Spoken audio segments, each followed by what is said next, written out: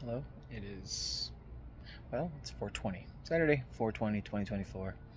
And I know it's been a while, but here's a garden tour. So, I know it's been quite a long time since I put one of these out. The garden's not in the greatest shape, but I'm trying to clean things up here. Um, we've got our lilies going here. Unfortunately, the garlic is all inundated with foxtails, but it happens.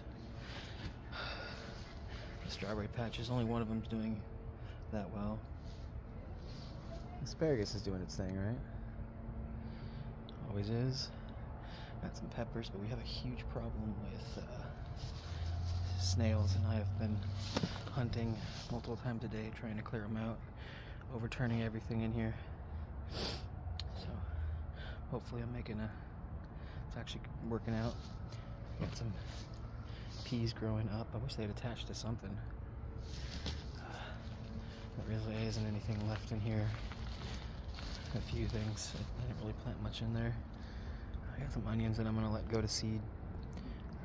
We've got crazy amount of nasturtiums there. This whole thing was full of nasturtiums here earlier in the week, but I trimmed them all back, hoping just to get a ton of uh, pumpkins, melons, things like that, cucumbers and whatnot in this bag. Just fill it up, see what happens. Oh. Our lavender's doing really well. Now we, oh, as I fall.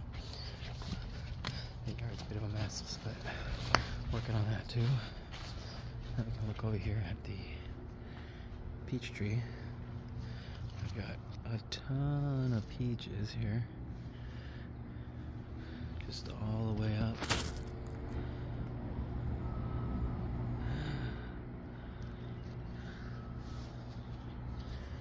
Oh, we got kids leaving bubbles everywhere.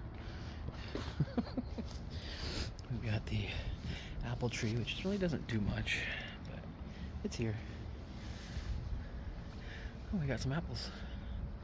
I have to go through and thin these out. Oh, we have a few, so we got some pollination done. That's good.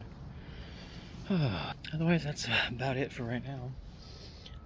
I don't know if I'm going to go back to doing this on a regular basis or not, but we'll see. Thank you for watching and have a great day.